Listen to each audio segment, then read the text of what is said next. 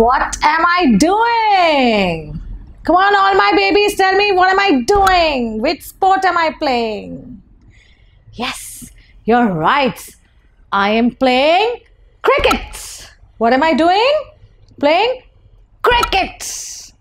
And I love to play cricket. I have so much fun when I do that. And what is cricket? Cricket is a sport. What is cricket? It's a sport. But do you know a fun fact? There is also a creepy crawly that is called cricket. What is the creepy crawly called? Cricket. So today we are going to learn about the creepy crawly that is called cricket. So welcome all of you to the learning box by PunToon Kids.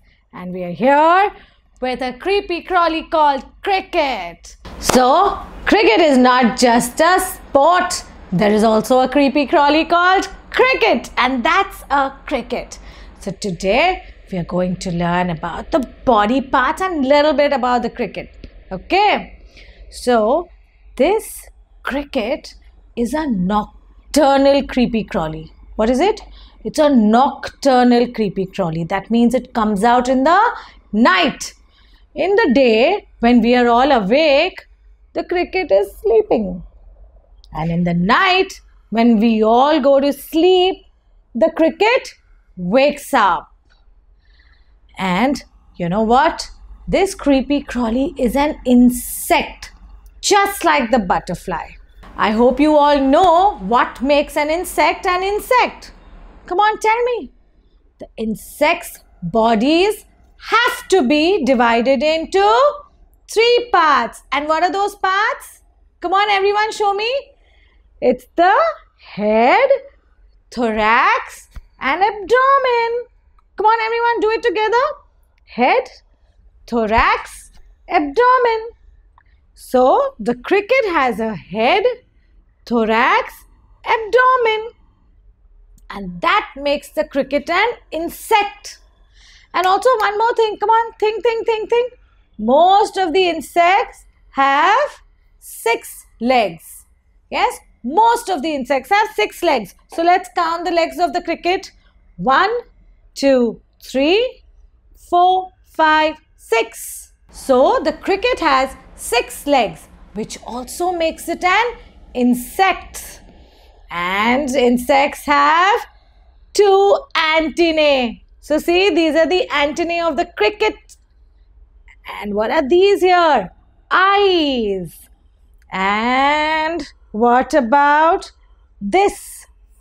You know, this hind leg, the long leg, these are also called the jumping legs. What are they called? Jumping legs because the cricket jumps with the help of these legs. And down here at the bottom, the sharp pointy thing, do you know what is this? This is called the cercus. It's not the circus where you see clowns. Yeah? This is a cercus which helps the cricket to come to know if there is some other creepy crawly or some other animal that is going to attack it. So, this cercus lets it know. Yes, and then because it's pointed, the cricket fights with the help of the cercus. Yeah, so that is all about the cricket. And do you know what does the cricket eat? The cricket eats plants, leaves, and also eats other tiny insects. That is why it is omnivorous. What is it? Omnivorous. Creatures that eat vegetarian and non-vegetarian. That means to say leaves, fruits, plants and also other creepy crawlies.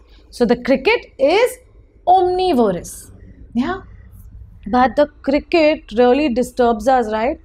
because it's nocturnal like i said when we are sleeping it wakes up and all night long do you know what we hear when we are fast asleep do you hear something all the time some sound yeah and do you know who makes that sound the cricket do you want to hear that sound are you all ready do you want to hear the sound Come on, let's hear the sound.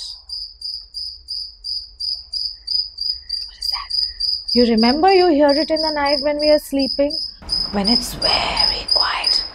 When it's very, very quiet, you can hear the cricket chirping, queen, queen, queen, chirping. See? It's chirping. And that is how it disturbs us. But I think we are still used to sleeping with the chirping sound of the cricket. So I'm gonna go now, take a nap with the chirping sound of the cricket while I want all of you to share, like, and subscribe. See you all soon.